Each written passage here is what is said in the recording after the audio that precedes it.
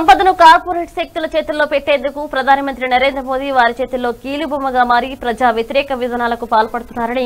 దేశ రైతాంగానికి అన్యాయం చేసేందుకే పార్లమెంట్లో వ్యవసాయ బిల్లును అడ్డగోలుగా ఆమోదింపజేశారని వామపక్షాల నాయకులన్నారు పార్లమెంట్లో ఆమోదించిన వ్యవసాయ బిల్లుకు వ్యతిరేకంగా పది వామపక్షాల ఆధ్వర్యంలో మూడు రోజుల పాటు చేపట్టనున్న నిరసన దీక్షలు మంగళవారం స్థానిక ఎంఆర్ దాసరి క్రాంతి భవన్ వద్ద వామపక్షాల ఆధ్వర్యంలో నిరసన దీక్షలు చేపట్టారు.